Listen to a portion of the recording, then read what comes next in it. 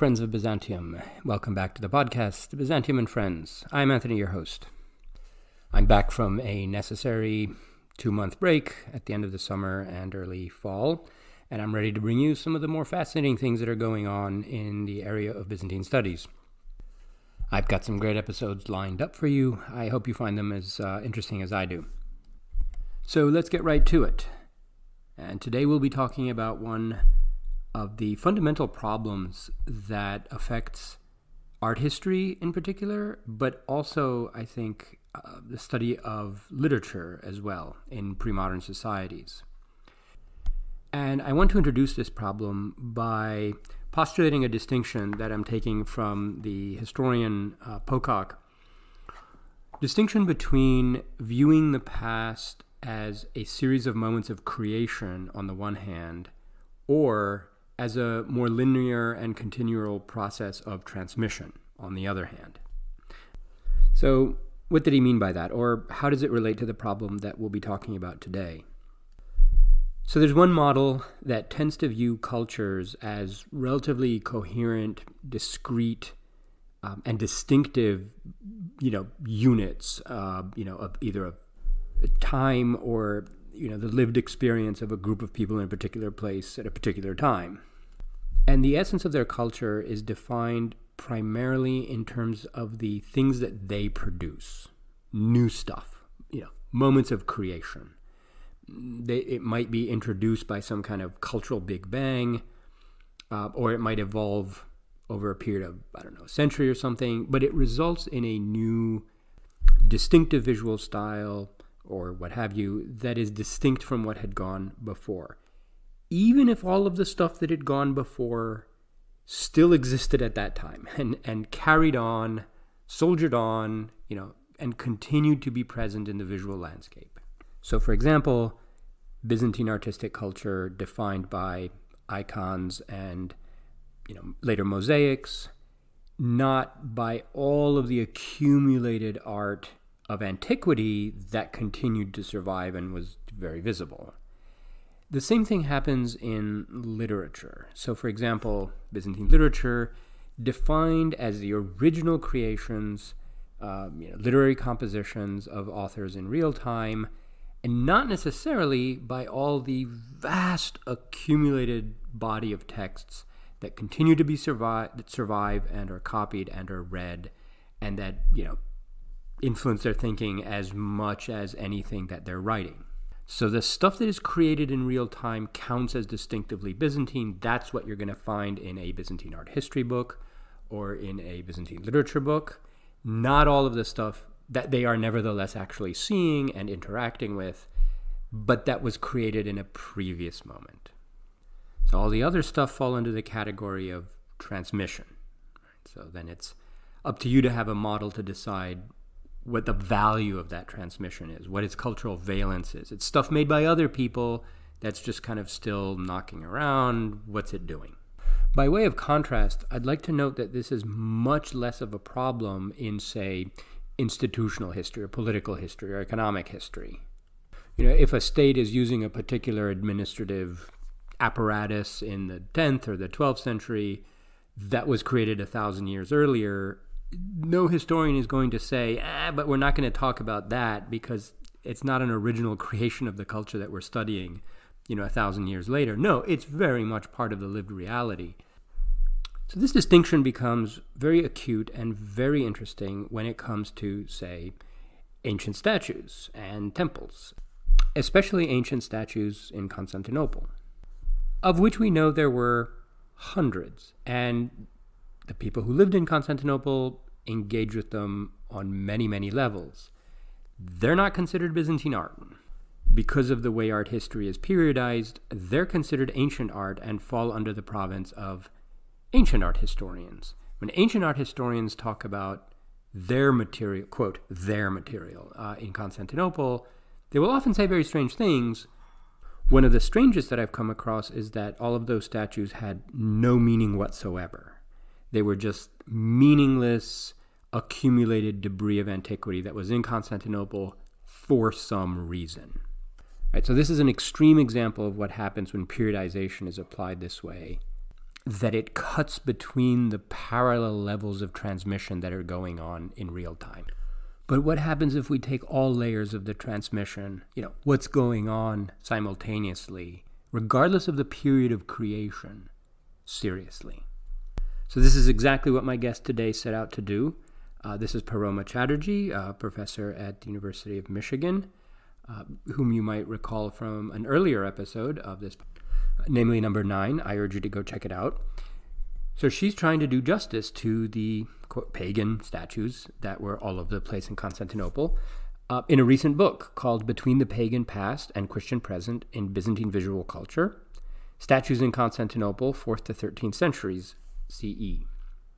As it turns out, ancient statues in many domains of the political imagination, of artistic imagination, of even everyday fears and hopes and anxieties, gave icons a run for their money. So these statues were very much present uh, in every sense of the word, like existentially present. And they need to be fit into the picture. They need to claim a bigger piece of the pie in a way. Um, and so we need new models and concepts in order to do that um, fully and, and do them justice, right? So beyond the trope that these Orthodox Byzantines were afraid of statues because of demons and so forth. So, got to get past that. Anyway, we also had a very fun discussion, so I hope you enjoy it too. Before we get to it, thanks to medievalists.net for reposting these episodes. Uh, without any further delay, here's my conversation with Paroma Chatterjee. Hello, Paroma. Welcome back to the podcast. Thank you, Anthony. It's uh, such a pleasure always to talk to you. So you're in Dumbarton Oaks now, right, in Washington? Yes, I am. I had spent a, a, week there before the lockdowns began, and but I did manage to record some conversations there that that became you know later podcast episodes. So uh, it's too bad I can't be there, uh, but yeah. you know we'll do it remotely. That's fine. So statues, statues in the round, right? Mm. So this is not what most people will think of when you say Byzantine art. yes, true. right. Um, and so you wrote a book on statues, statues in Constantinople in particular. Mm-hmm. Um, and we'll get into the claims that you make in the book. Uh, I, I, think they're pretty important arguments. Uh, but why don't you start off by telling us how did all of these statues get to Constantinople? How is it that it had all these hundreds of statues? Mm-hmm. Uh, what was the point of endowing the city with them? Mm-hmm. Well, um, thank you for the questions. and uh, um, I mean, first of all, all those statues came from other parts of the empire, and we have, in fact, this whole litany of names uh, in the in the Patria, the 10th century text. So just to rattle off a few of them, you know, they came from Athens, Rome, Nicomedia, Caesarea. Um, I mean, um, Antioch, Sicily, Crete, Rhodes. I mean, you, you just name it. They just brought statues uh, from we are to believe the Patria, which I, I suppose a lot of people don't, but um, I think that gives us a nice glimpse into the, just the geographical range from mm. where statues must have come. And um, they were brought, I think, mainly for the reason, you know, uh, to deck out the new capital of the empire, but also for various other reasons. I think, I mean, statues were such a significant part of the visual culture, the ritual culture um, of, um, of antiquity. And I don't think they just dropped out. Uh, they didn't drop out clearly. They, they were brought mm-hmm. uh, uh, across miles, you know, to adorn Constantinople. And I don't think their powers just dropped out all of a sudden uh, after the fourth century. So, yeah. Yeah. So, what was the point of of bringing them all? Why did the emperors want to endow Constantinople with this uh, uh, statuesque armature? Um, well, I mean, uh, one um, very strong uh, foundational strand of scholarship, uh, uh you know, uh, from Sarah Bassett uh, onward, has argued that it is because this is the civic decor of any antique city, mm-hmm. and that's what they were following, and that absolutely makes sense. I mean, that is what you would see in cities, but um, I think this could be extended to think about how uh, I mean, this was appropriating, of course, what was already their own. I mean, this is, these are uh, parts of their own empire. It's like moving around things in your own house from the drawing room to the, you know, some other Uh, but it's also just about using their resident powers. It's I, I, don't think it was just about form. That has been the main focus of our mm-hmm. study. Oh, they, they love these, you know, because they looked nice, but mm-hmm. they didn't really use them.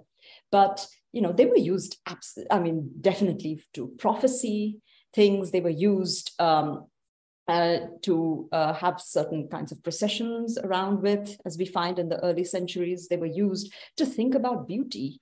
Uh, they were, you know, uh, yeah. I think it was poss- I mean, I would go so far as to say it must have been unimaginable to the Romans to think of their surroundings without statues. That's the impression yeah. I get. Um, yeah, especially if you're building a city that's supposed to evoke Rome in some ways, because Rome itself was full of these. Yeah. Um, but as you were speaking, I just thought of an extreme example of how the statues are um, sort of culturally productive without even necessarily being seen. And this was the the Palladium, uh, the the just a little statue of Athena that supposedly protects a city from being conquered. That allegedly, we have no idea whether this is true, but they believed it. That allegedly Constantine buried underneath his column in the Forum. So n- nobody actually saw this. It wasn't like a like yeah. an art historical moment. It was clearly a sort of magical talismanic moment. Yes, absolutely. Yeah. yeah, yeah. And I mean, your own work on the forum, uh, which I've gone to repeatedly actually to look at uh, on the forum of Constantine and, and the kinds yeah, of statues that uh, that were there. I mean, that uh, that too, just the fact that you would have these. Yes. In space, yeah. And I was I always struck by like letters from the 10th, 11th, 12th centuries where they're saying someone's beauty is comparable to the statue of so and so, and it took me a while actually to figure out oh wait no that statue might have actually been around the corner. And like they they know what they're talking about. Yeah absolutely. Um, yeah. So what happened to all these statues? Why can't we see them today? Well uh, i mean i guess the uh, in the narrative, it is that the, the Fourth Crusade happened in 1204, and that a number of these were just uh, smashed, you know, melted down to make coins, currency, but also a number of them were just carted away. And I think it's this hold of uh, the, of, of the ancient city, which was expressed and extended in Constantinople, that we see replicated in Venice mm. um, in its main piazza. What really struck me as I was writing the book, and I think I mentioned it uh, this too, they really displayed the statuary, the columns and statues in their public places. And I think that also stands for something that even in the 13th century, which we think of as being medieval in quotes, right? Uh, this is when uh, there's no paganism, that this is, you know, uh, everything is a bastion of Christianity in Europe. Mm-hmm. That's clearly, I mean, that's not what they're doing in their uh, public spaces in certain parts of Europe. That's... Yes, and we'll talk a little bit about that how we define mm-hmm. religion to include yeah. like you know certain kinds of yeah. artifacts and objects like icons and to exclude things that are clearly doing religious work though um, so yeah. we'll get into that um, i recall um, Jas Elsner, so he and I had done a, a, joint presentation on the survival of classical mm-hmm. culture, mm-hmm. and I was doing the sort of more text part, and he was doing the uh, sort of statues and art part and we alternated. This was um, at the Getty in California some years ago, and just mm-hmm. putting our materials together, he made the following observation, which I thought was really great. Mm-hmm. That in terms of the classical Greek texts that we have today, we mm-hmm. have the ones that Byzantines chose to preserve. Mm. When it comes to the classical statuary, we have all the second rate stuff that they left behind. because all they took all the good stuff too to Constantinople and it just got destroyed by fires, by the Fourth Crusade, by whatever. Yeah. And yeah, and so there's and so he pointed out this asymmetry in the materials that like yeah. classicists and ancient art historians. I, it was great. I loved it. Um, yeah, that's a that's a great observation. That is. I mean, um, it's very much like him. Yes. yes. Um, okay, so one of the tensions in your book, and and you keep coming back to it in the different chapters in different ways, is sort of contrasting the public visibility and sort of imaginative functions of statues compared to those of icons. Mm-hmm. And I have to say, I'll explain this a little bit in the introduction too, but that sort of icons are the, mm, I don't want to use the word iconic, but archetypal sort of what, whatever we what we think of when we think of Byzantine art. Yeah, yeah. Um, and this has been reinforced by uh, you know a century or more of scholarship. Mm-hmm. But you make the point that icons would not have been very visible in public spaces. There were very, very few. Yeah. Um, and that those public spaces were con- conversely dominated by statuary. Um, and so, could you tell us a little bit about what kinds of spaces one mm-hmm. could see ancient statues in? Yeah. Um, because you make this point that there are a lot of people who would have been far more like visually aware of statues than of the icons that we study, which were often like in some pretty obscure places or like the famous Sinai icon. I have a replica of, of this above my mm-hmm. desk. Yeah. And I just think of it as like, you know, image of Christ that no one ever saw really. like you had to go to Sinai and it's not easy. Yeah. Right. Um. So what kind of places were statues in? Um, well, they were outside. I think that's that's my first thing. They were also inside. Again, if we are to believe some of those texts yeah. like Parastasis, you know, that, that apparently Hagia Sophia was filled with statues, which itself is, is just such an interesting concept to think about, be it true or false. But uh, they were definitely outside. So uh, as you've, you, you, know, as you've pointed out, it, it, it pointed out in your work on the forum, the forum of Constantine, the hippodrome, which I think was one of the most important spaces. It's a space where people came, tourists, citizens, ambassadors, diplomats, you know, the, the guy who tried to fly in the air and fell flat on his face, right. um, emperors. I mean, um, that was studded with statues, not a single, you know, Christian figure there uh, or, or, an image. Um, the Augusteon, uh, along the Mese, I believe there were uh, statues, yeah. but also not just spaces within the city, but uh, I've been looking, re-looking at some of the literature on the, the Golden Gate. Uh, right, right. Statues. And I believe um, I uh, bumped into Annemarie Weyl Carr uh, wonderfully and Nancy Ševčenko while, I, while I've been here in Dumbarton Oaks. And they pointed out, Anne Marie pointed out to me that there was she could recall just one uh, mention of an icon mentioned by Anthony Cutler, actually, and this was attested to by a Russian pilgrim. But it was an icon that is on the outside of the Golden Gate, mm-hmm. and which apparently had, uh, you know, it, it had relic-like qualities. So it's very striking to me that you don't find images, iconas, you know, the way we imagine them to be in, in the city. I mean, where are they? I can't find any text that talks about them. Now, it could be that perhaps they were ubiquitous and nobody cared to just write about them. Mm. But it still seems to me that, I mean, one factor is just sheer size. I think these statues would have been more visible just because they were so damn big. Mm-hmm. And they must have been. The Romans loved making big statues. They carted, they wouldn't have carted tiny ones, although they possibly they did. Yeah. And um, even if we even if we are extremely skeptical of Choniates and so on and so forth. I I don't think those statues were tiny at all. So I think. Oh no, no, some were quite huge. No, they were huge. Yeah, and yeah, yeah. you read Choniates, you know about how um, Heracles's thumb had to be encircled with a, you know, with a girdle for a man's belt because it was so huge.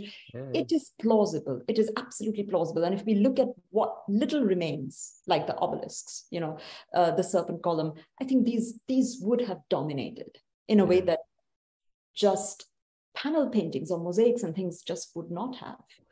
Yeah, and I should add, uh, for the benefit of the audience, that when when we mentioned statues, we're also including like carved reliefs that were brought also from elsewhere.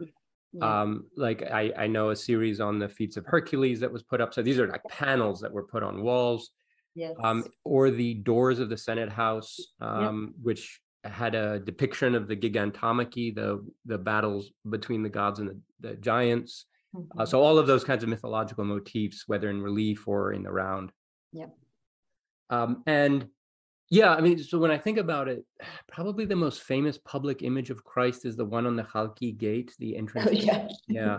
And we keep debating about whether it existed until it was, you know, the ninth yeah. century when yeah. maybe it was put. Yeah. Yeah. Um. But there are all these traditions that, you know, kept being put up and taken down by the iconoclast, but it turns out it's probably just put up at the end. um, yeah. So that was one. You know, I can't really think of many others.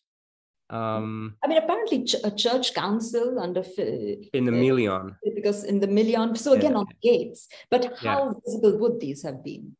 There might, I mean, I'm perfectly willing to believe that there might have been uh, images of saints put up uh, on shop fronts and things like that. But my point is, how visible were they in relation to statues? And sure, I think, sure, yeah, yeah, yeah. That's that's that's. I think that's what fascinates me. And when we think, if we even care to concede that yes, perhaps statues were dominant, how might that just change the way we think about sacred images. Exactly. And this is the point of your book. And so this is what I want to focus on here because um, there is a tradition in scholarship of kind of dismissing the statues as being merely ornamental. Yeah. Yeah. And and I have literally, literally, I have found um, scholars of ancient art who say they didn't mean anything. Yeah. right. Yeah. Which is striking. Uh, like on the face of it, that's not the first place you would go to, right? to interpret them. Um, and your whole your book is about what they actually meant and that they actually did perform quite a bit of interpretive labor yeah. um, even in a sacred context and yeah. so you treat them as sacred objects and not just as like ornamental secular ones mm-hmm. uh, so let's talk about one of the categories that you highlight which is prophecy mm-hmm. yeah so statues were very closely linked to so prophetic traditions and anxieties and so forth. So tell us a little bit about this and, and how they imbued statuary with a kind of sacred aura. Mm-hmm. So um, uh, when I say that I think statues retained part of their sacred aura, I think um, it, it, I mean what I mean is in the in the sense that one doesn't have to be uh, pagan necessarily, or I mean it doesn't matter what religion one personally professes right, right. in order to, uh, to yes yes ex- that's something exactly right. another thing yeah yeah, yeah, yeah. And, uh, I, I just uh, you know uh, i mean just just to give a contemporary example which i think is very relevant so in my home city of calcutta you know we worship the mother goddesses uh, those are huge kali and durga. But right now our biggest festival is taking place for the mother goddess durga uh, with the 10 armed goddess and one of the biggest shrines, they make these temporary shrines over this thing. One of the biggest ones is the Vatican. They've placed our mother goddess in this constructed artificial uh, St. Peter's Vatican. And huh. everybody, we know this is a church. This is, you know, everybody yeah. knows it. It doesn't detract from the fact that we are goddess worshipping Hindu, Bengalis, yeah. Brahmins, or whatever we are. And that, you know, we also recognize that this is the, you know, the, the the, home church of, uh, you know, this is the seat of Catholicism. One day I want them to make Hagia Sophia and put our goddess, and I'm going to suggest to some of those committees because these are actually very important. They take months to prepare these and they are really detailed. Wait, anyway, so what, what does the Vatican uh, sort of replica image add to the image of the goddess? That's a great thing. That's a great point. It, it in some ways it's it works both ways because it very much recognizes that the vatican is this really important thing but it equally recognizes that our mother goddess is powerful and important enough to have a seat in it. You know this completely completely not christian you know yeah. uh, thing. So it's so it's that it's that kind of mentality that really fascinates me and i feel we see that here. Um, and as for, uh, you know, to come to the point about the, their prophetic powers, I mean, this I feel is fascinating because other than maybe two instances, and those are so faint in the sources, two instances, one of the Empress, you know, Zoe with her Antiphonitis icon, mm-hmm. and the other of an image of the Theotokos, which refused to enter the church in Thessaloniki before an invasion. Other than those, I don't see I, um, sacred images in Byzantium being invested with the power of prophecy. It's just not there. You know, they may lament, they may cry, they may, you know, do things, they may lament after the fact, um, but they don't really, uh, they do not foretell events in the future, but statues do. And it seems this is uh, I won't say absolutely continuous, but it's it's very much there in the tradition, in the textual tradition uh, over a long period.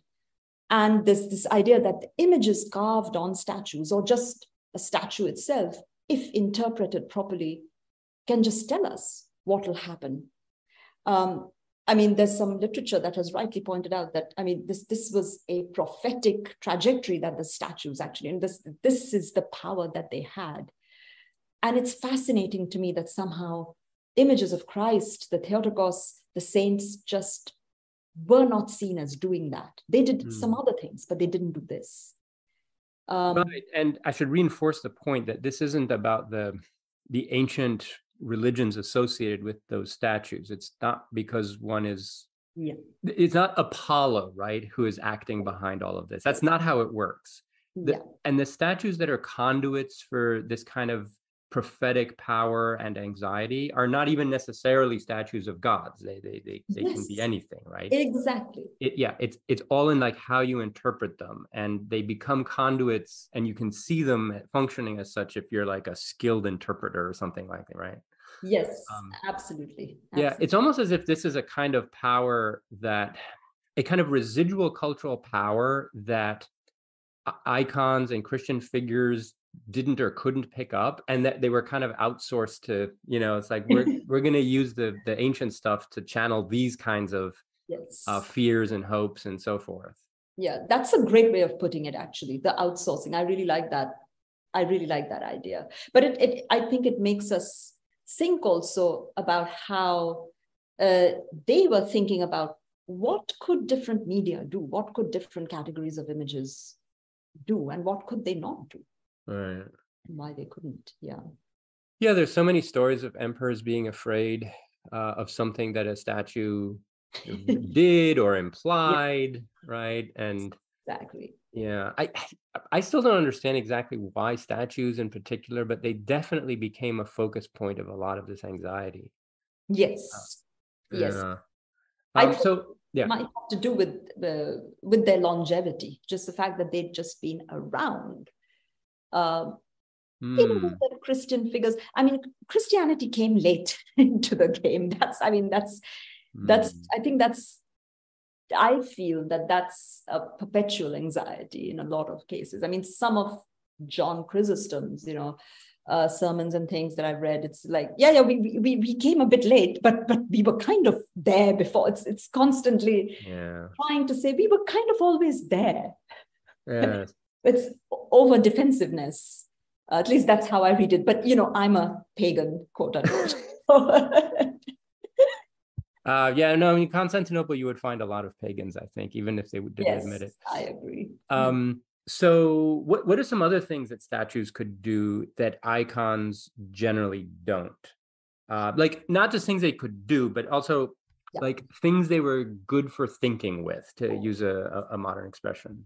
Yes, um, and that uh, brings me to an expression that you used a little earlier, which I really like the the imaginative sort of um, uh, landscape also that that statues wrought in a way that uh, sacred images could not. So one of them was, I, I think, it's ways to think about longevity and endurance. I mean, the history of sacred imagery is very truncated and iconoclasm is that one big rupture you know and i think mm. that that is that is definitely seen as a rupture it's something that just breaks apart any you know attempt even even even artificial attempts at saying that oh sacred images have always been there there's continuity it's just not i mean this iconoclasm is an event that they commemorate the end of so yeah. it's very much there you know yeah, yeah. Um, so i think the statues in contrast um, just have endured longevity which is what they were obsessed with you know we want to we want to endure you know the last you know who will be the last emperor who will come back the second coming so that is one thing then as you pointed out beauty that you see in letters and so on uh, right here i was reading an essay by Charalambos Bakirtzis which talks about a late 15th century uh, sort of poem and epitaph, I think, in which this woman is lamenting. And, and again, she, she, says, you know, you, you were like a statue, you have the beauty of a statue, and so on. Mm-hmm. It's, it's just there, this idea of, of beauty in statues. Um, and uh, even just, just the idea of imitation, which of course is a very, it, it's an ancient right. concept, yes. long tradition. And again, we, I don't find that so much in the discourse in sacred images the way I find it with statues. Yeah. They were clearly doing all this work Um, but I think even just having, but looking at them the way they occupied space would have been so different from the way sacred images did. So yes. Mm-hmm.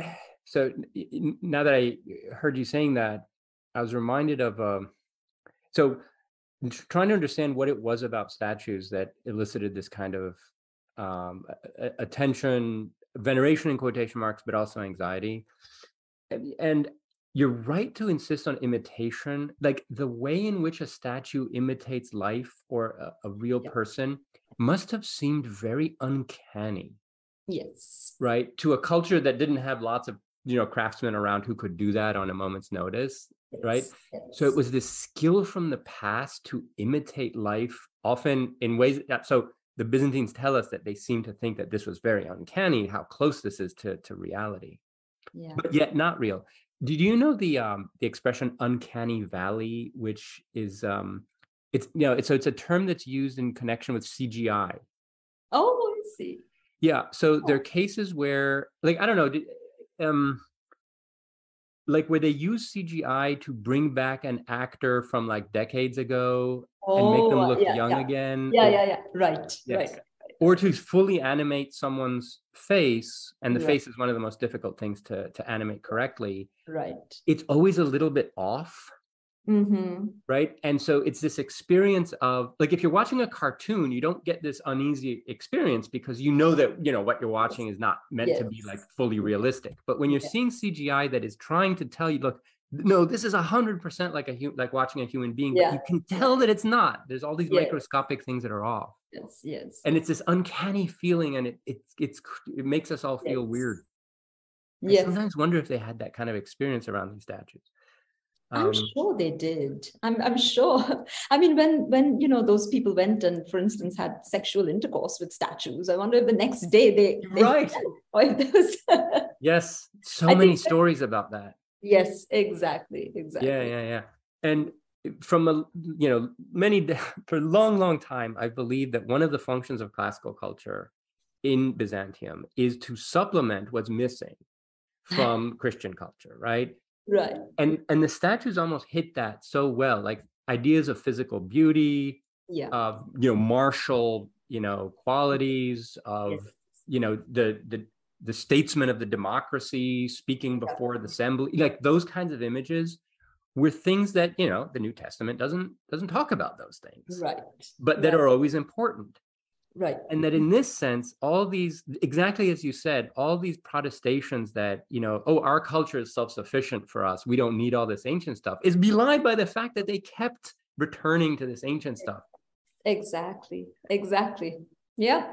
I agree. Yeah yeah yeah um and yeah and the statues seem to be such a perfect you know they're paragons of these things um, so another theme that you raise is like even within Christian material culture, it's not the icons that are doing a lot of the even the religious work. And so you talk about um, it, like for example, especially in public, in processions, mm-hmm. um, and even in like miraculous powers yeah, and yeah. things like that, it's relics, right, yeah. that are far more powerful. Yes. Um, and yeah, and often the emphasis on like, yeah, uh, liturgical accessories and things like that, not icons. So can you talk a little bit about like the distribution of functions and powers, like even within yeah. the Christian repertoire? It's not icons that are at the forefront always.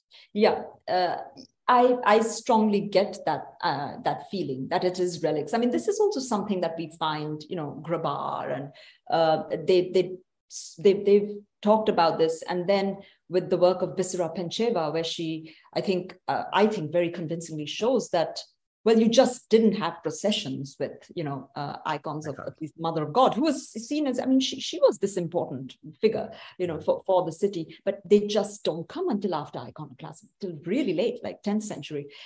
Um, and that makes me, but, but, you know, it makes you think there were all these relic translations. Maybe those relics were not seen once they came in but they came in. They were came in in processions. There you know these um, also images which show these things you know with, with in caskets and stuff like that um, and some really magnificent relic translations like the translation of the Mandylion in 944 um, And we just don't have that, that kind of evidence again for sacred images. We, when we have it, it's always an image which is like a relic. So I really mm. get the sense it's it's the acheiropoietos, or it's an, an, an even um, it, again once again going back to the text. I like reading uh, texts. Um, you know what pilgrims pilgrims coming in really seem to talk about are relics, and when they talk about icons, very few, very few times it's always the icons which are bleeding or crying or which have relics you know right. um, alexei lidov the uh, you know uh, the uh, art historian he's done wonderful work on how even the doors of hagia sophia i mean those are relics and images which were on them were relics they were miracle working icons so it seems to me this this uh, you know icons what we call icons you know today the way the way we refer to them had to assert their importance initially by being like relics. So I think what, what really you know captured the imagination just uh, literally spatially but also imaginatively were statues and relics and that icons were they came later they were a much more conflicted category as i think is attested to just by the fact of, of iconoclasm even having occurred right um, I mean, there was also lipsanoclasm, yeah, which we understand much less, much fewer studies done on it, you know, during, but, but relics were definitely there. They were important. And I think what, what assimilates statues and relics is they collected statues in the early centuries, they collected relics on the yes. same scale. Those two were happening at the same time. They were, I do not hear of them doing that with just a plain old image, you know, of Christ. That's an interesting, yeah. I had thought about statues and relics. Um, like there's the fabulous collection of relics in the Pharos uh, Museum. Yeah, yeah, right?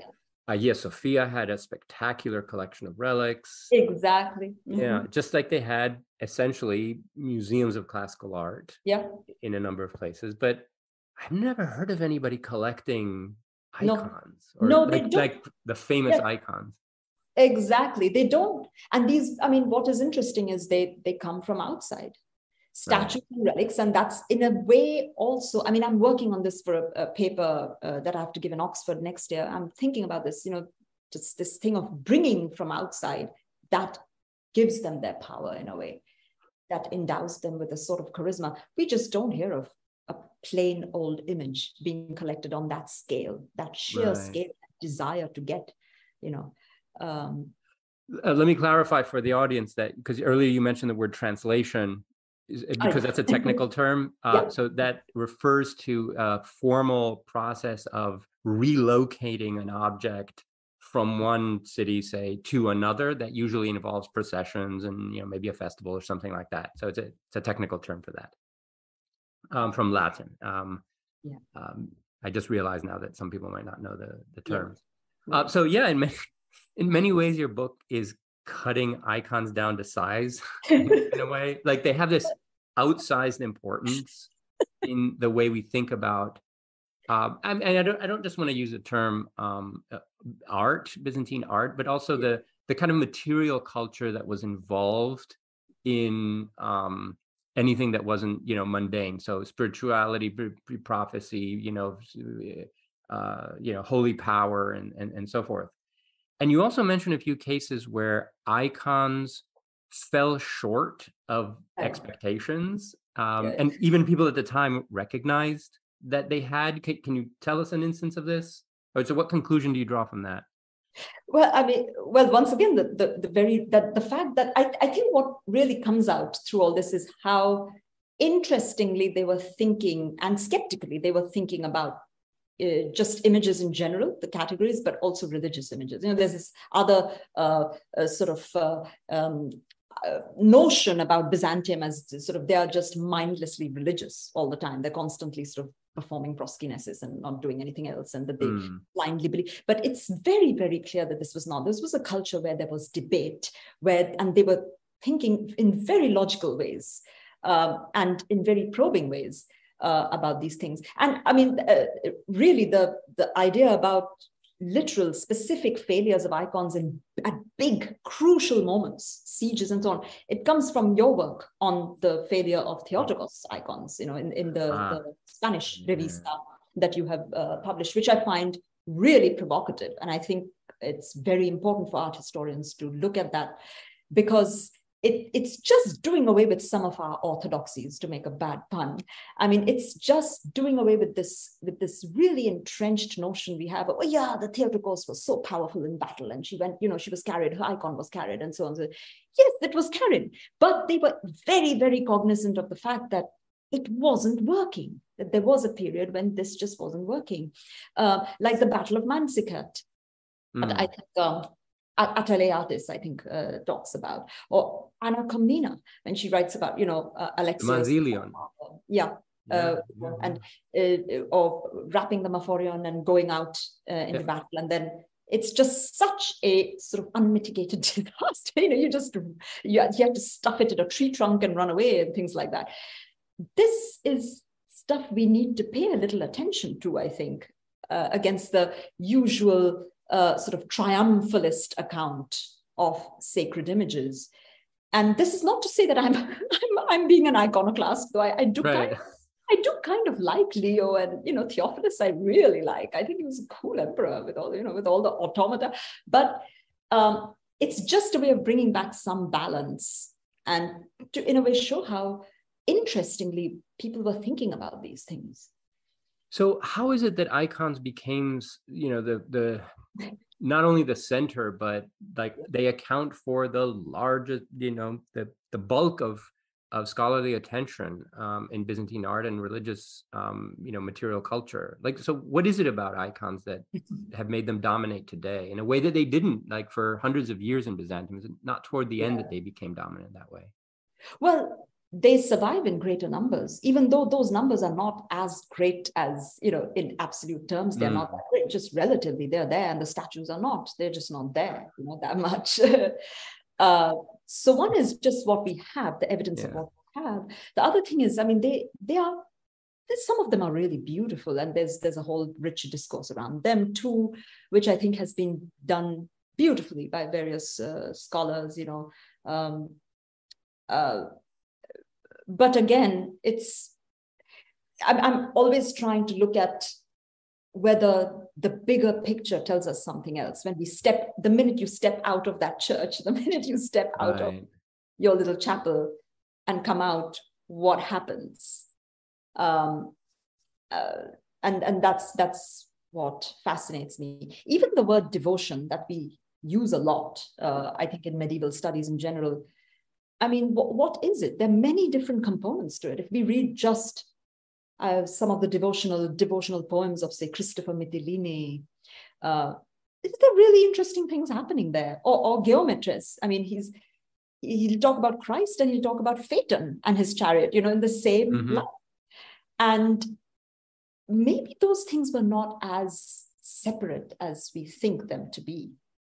Right. And I should say that you've actually worked on icons a lot. So you're yes. Yes, um, and actually, the first time I heard you give a talk, it was a very, very uh, insightful sort of analysis of icons, and your first book was on them. And so you, this is you're not coming from a position of you know of you're not you're not mounting a campaign to sort of marginalize icons or anything like that.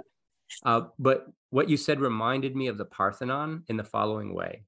Mm-hmm. Today, most of the discussions about the meaning of the Parthenon focus on the frieze, right. which is never mentioned by any ancient author, including Pausanias, who describes the building. Right. There you go. Why do we talk about the frieze? Because we have the frieze. We have it. Exactly. There you go. There you go. yes. And the frieze was literally tucked away, you know, between the wall and the colonnade. Like it would have been very hard to see in antiquity there you go. Yeah. There you go. I think right, right there, you've pointed out uh, certain things that we really need to keep in mind. The field of art. That's interesting. Right? Yeah. Mm-hmm. Um, okay, so you've also written a chapter on epigrams and statues. So, mm-hmm. because often, like many monuments in Constantinople, they they were accompanied by a text to tell us, yes. or to speak as if in the voice of the monument. That yeah, those yeah. are the ones I love. Uh, yeah. So tell us about an epigram and a statue that you find a that you found particularly sort of evocative combination. Oh, that's that's a good one. Um, so this this one, uh, not necessarily on a statue, but I mean, this, this is an epigram I really love. It's about Eros, and it's, it says something like, oh, look, the statue of Eros, this figure of Eros has been melted down and uh, sort of made into the uh, handle of a frying pan. So Eros felt fire and he's now serving fire, you know, serving the, the you know, uh, being served. I, I, I, just love stuff like that because it's, uh, it's just so fascinating to me to think of, you know, uh, the handle of a frying pan. I mean, I, I have to use that stuff every day. Maybe, yeah. maybe it used to be, you know, the God of love. Uh, am I touching some interesting parts here? you know? Um, yes. I love epigrams like that. I mean, Ivan Drpić in, in art history has, of course, written on uh, epigrams, but he focuses on sacred epigrams, you know, Christian epigrams. But there's this whole other uh, really playful, wonderful epigrams that, that we find in, in the anthologies. So the one that you mentioned, that seems to draw attention to the materiality, like the, the, how fungible the material is sometimes. Yeah. yeah. And I've come across similar. So I didn't make the connection when I was reading the chapter, but um, in liturgical implements. So there are occasionally instances where I don't know, and these might be apocryphal stories, but they get at the anxiety of how the material itself can be used for different things, right? Like mm-hmm. yeah. uh, a prostitute will donate some silver and it's made into a liturgical implement, and then everyone is like anxious, like, wait a minute, that's right. That yes, yes, that's right. Some of the early saints' lives. Yeah, yeah, yeah. You're right. You're right. Yeah. Yeah. yeah the material is yeah. They're thinking just about uh, where did this silver or gold or bronze come from? Yes. That that would be interesting to think about in terms of frying pans. Yeah. I mean this. this yeah. Yeah, yeah, yeah. yeah. Um. So we're we're almost out of time. Um. I wanted to ask if you had any final thoughts about statues? What should like do you have any advice for younger scholars? What what they might be looking at where this field might go or or anything at all? Um i guess uh wow that's that's a big one. I guess uh, i mean all i'd say is this was just my attempt to really try and give statues their due in a way uh, beyond their just being residues of the classical world yeah. and beyond their just being ornamental and, and giving grandeur. I mean, there's much more to them. And I guess my advice to younger scholars would be uh, read a variety of texts uh, and and look at a variety of different materials. You know, uh, because uh, there's so much. I feel I've barely scratched the surface of, of so much stuff, and I keep discovering new things. You know. Yeah, but you make an important contribution in this book, which is to so it's to strike against the way we periodize things, yeah. not based on when they existed and were used and perceived, and mm-hmm. yeah, but when they were created. Yeah. Right. And that classical art is what was created in classical antiquity, and Byzantine art is what was created in right. Yeah. Forgetting that all the prior stuff still survives. Yeah. Exactly. Right. And just because it wasn't created then doesn't mean that it's not like important mm-hmm. for that culture. It could be yeah. hugely important. Yeah. Yeah. Um, yeah. Again, in the same way that the, the Parthenon is arguably way more important today as a national monument than it right. ever was for ancient Athens. It was one among many. There, there, there you go. Yeah. Yeah. yeah.